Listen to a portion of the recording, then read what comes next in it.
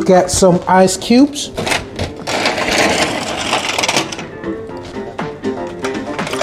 Fill up your shaker.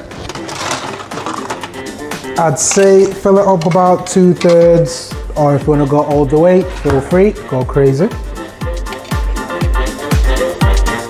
Get your lid on top and make sure you give it a nice good shake.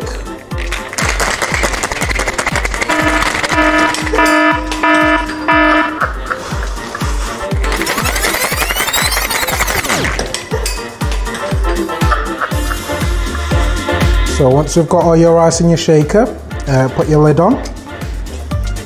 Now, I'd always recommend keeping a finger, at least a finger, on the top here, because uh, you don't want it spilling everywhere.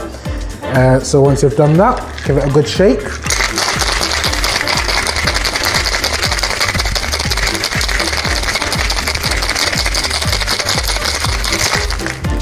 I'd say about 10 seconds or so, uh, but you'll know when it's done because your hand will be absolutely cold.